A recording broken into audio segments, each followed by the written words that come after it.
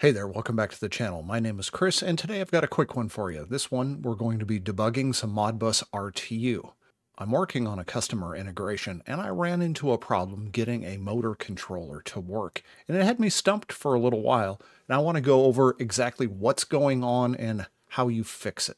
So first of all, let's go down here and look at this hardware. This is the back plane here, and admittedly it looks kind of busy for this problem, but really what we want to focus on is the RS-485. So I have 485 right here, comes out, and it goes into this motor controller, and this controller drives this brushless DC motor here. So basically I just have an app that I'm running on here that I want to control this to drive this. It's also controlling a bunch of these other things, but for right now, let's just focus on this. Let's go take a look at the code at what I've got going on and the problem I'm seeing. Here is the application loop that I'm trying to drive. It's really, really simple. I'm just trying to run for five seconds clockwise, stop, wait a second, and then run counterclockwise for five seconds. That's all it's supposed to do. Yet it's not moving at all. And in fact, it's timing out up here when it's trying to create the motor controller and the motor. So what I'm getting is a failure on the RS485. I'm getting, right now I'm getting a timeout. I don't always see a timeout. Sometimes I see a CRC error though. So we have some sort of a communication problem when it's trying to initialize this motor controller long before it ever gets to this run loop. I instrumented the code all the way down into the driver a lot, trying to figure out exactly where this was happening. I thought it was a code problem.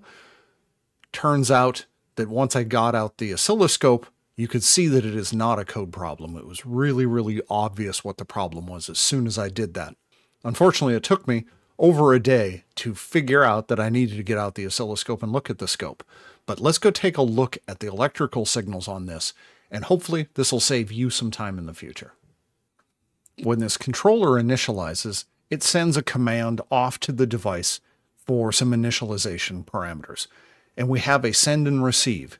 You can see right here, I've got eight bytes that I sent, and the scope is even decoding these, and they're coming in fine. And then this is the response here. And you can see the decoder even says this is all red.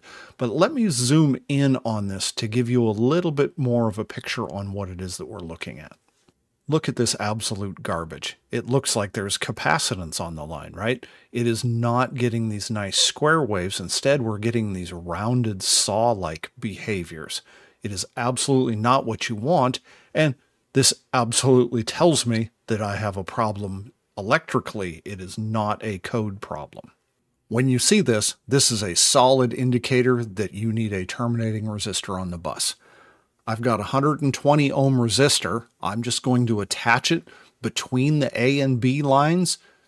As you saw on this back plane, that cable is, you know, six inches at best in length. So I can actually put it anywhere on it. Typically, you'd want it all the way out at the end by the device, but again, this cable is really short, so I'm just going to attach it right to the screw terminals on this Project Lab board, and we'll take a look at what happens uh, to this signal when I do that.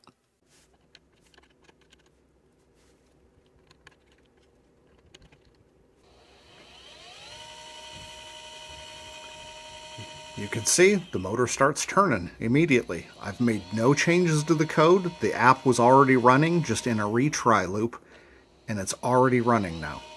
Let's go take a look at the scope traces now. You can see how much cleaner this response is now. It's gotten a lot more square. We don't have really, really nasty sawtooth. And the high side is coming up almost all the way to this baseline high. Now, there are still these ramps on these. These could be cleaned up by adding a like a 470 ohm bias resistor on this line to pull it high. And in fact, if we looked at B, it might have the same rounded stuff on low, so we could bias the B line to low.